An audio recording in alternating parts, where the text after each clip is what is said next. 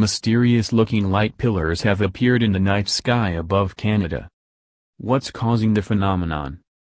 Images of incredible beams of light that appear to burst into space in Ontario, Canada, have gone viral this week, with people comparing them to something out of Star Trek or Close Encounters of the Third Kind.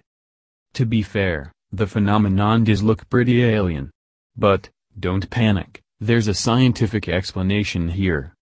The images were captured in North Bay, Ontario, by photographer and YouTuber Timmy Joel Elzinga, who initially freaked out when he spotted them out of his bathroom window in the middle of the night.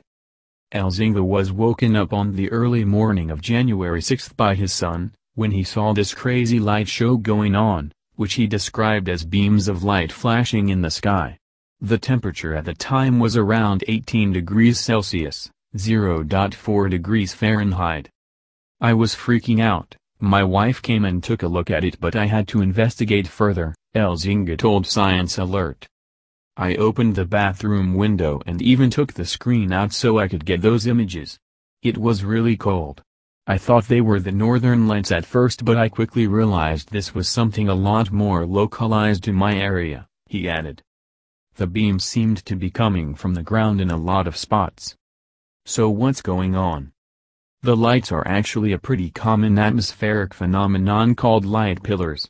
Although they look a lot like aurora, they're not related to the northern lights, which are caused by electrically charged particles from space exciting atoms in Earth's upper atmosphere, causing them to release spectacular light.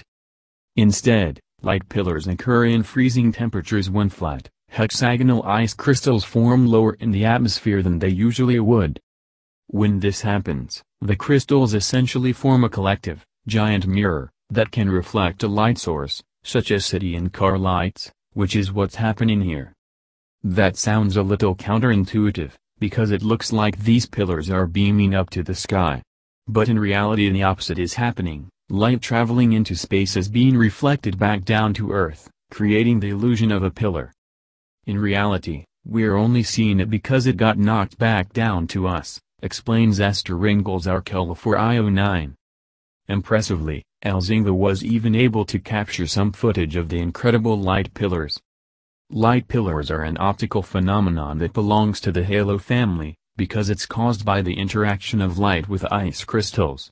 Other examples are sundogs and halos.